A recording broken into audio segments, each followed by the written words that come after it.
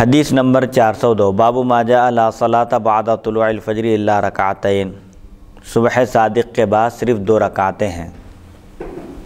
حدثنا احمد بن عبدت الضبی حدثنا عبد العزیز بن محمد عن قدامت بن مسان محمد بن الحسین نبی القمت یسار مولا بن عمر عن ابن عمر ان رسول اللہ صلی اللہ علیہ وسلم قال لا صلاة بعد الفجر الا سجدتین۔ وفي الباب عن عبد الله بن عمر وحفصة قال بيس حديث ابن عمر حديث غريب لا نعرفه إلا من حديث قدامة بن موسى وروى عنه غير واحد. وهو ما أجمع عليه أهل العلم كريه أن يصلي الرجل بعد طلوع الفجر إلا ركعتي الفجر ومعنى هذا الحديث إنما يقول لا صلاة بعد طلوع الفجر إلا ركعتي الفجر. حضرت ابن عمر رضی اللہ عنہما سے روایت رسول اکرم صلی اللہ علیہ وسلم نے إرشاد فرمایا طلوع فجر کے بعد صرف دو رکعتیں نماز ہے۔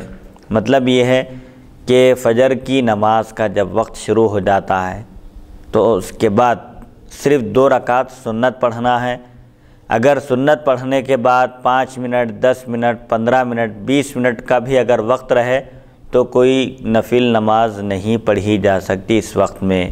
فجر کی نماز کا وقت جب شروع ہوتا ہے، تو صرف دو رکعت سنت پڑھنا ہے۔ اور اس کے علاوہ کوئی نفل وغیرہ نہیں پڑھ سکتے۔ اس باب میں حضرت عبداللہ بن عمر اور حفصہ رضی اللہ عنہما سے بھی روایات ہیں۔ امام ترمیزی فرماتے ہیں، ابن عمر رضی اللہ عنہما کی حدیث غریب ہے اور ہم اسے صرف قدامہ بن موسیٰ کی روایت سے پہچانتے ہیں۔ ان سے کئی راوی روایت کرتے ہیں۔ اس مسئلے پر علماء کا اجماع ہے۔ اتفاق ہے کہ طلوع فجر کے بعد فجر کی دو رکعتوں سے زائد پڑھنا مکروح ہے۔ اس حدیث کا مطلب یہ ہے کہ طلوع فجر کے بعد صرف فجر کی دو رکعتیں ہی سنت ہیں۔ یعنی نفل نماز پڑھنے کا نفل نماز پڑھنے سے مفتی صاحب کیا منع کیا گیا ہے؟ اور اگر کوئی شخص خزائے عمری پڑھنا چاہتا ہے تو اس کو پڑھنے کی اجازت ہے۔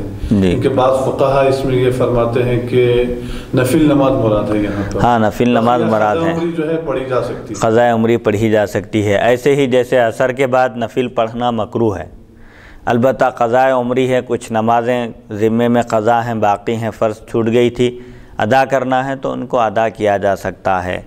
البتہ کوئی نفل نماز نہیں پڑھی جا سکتی۔ فجر کی نماز کا وقت جب شروع ہوتا ہے تو صرف دو رکعت سنت پڑھنا یہ مسنون ہے۔ اور اس کے علاوہ نفل پڑھنا اگرچہ کے وقت میں گنجائش ہو، کافی وقت ہو، لیکن نفل پڑھنا مکروح ہے۔